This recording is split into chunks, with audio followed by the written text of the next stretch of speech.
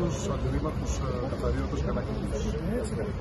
Σε ό,τι αφορά τα οχήματα οχήματα. σήμερα Είναι και, αυτό και, που σας και είπε ο- κυρίως για το όχημα πατέντα Είναι μας. αυτό που σας είπε ο κύριος ε, Δήμαρχος, είναι τα δύο οχήματα της ανακύκλωσης που θα μπουν ε, καθημερινά στις ανάγκες της πόλης. Είναι μια αρχή ε, και μια ανανέωση της συνεργασίας μας με την ΕΑ.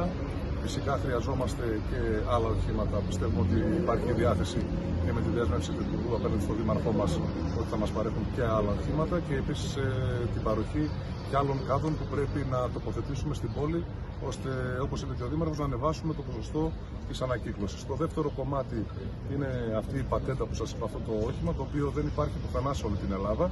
Είναι το μοναδικό όχημα όπως βλέπετε για αυτή τη δουλειά. Ήταν η αναγκαιότητα η μεγάλη που είχαμε και επειδή τότε είχαμε πρωτοαναλάβει με τον Δήμαρχο, βασανιζόμασταν πώς θα το λύσουμε. Και φανταστήκαμε και σκεφτήκαμε με τον κύριο Καούση ένα, μια τέτοια λύση. Παιδεύτηκε τρεις μήνες, μα το έκανε πραγματικότητα.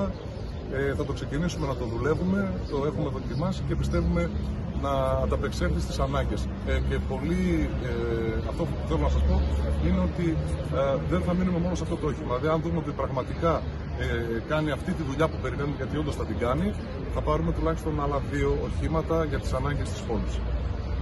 Να είστε καλά.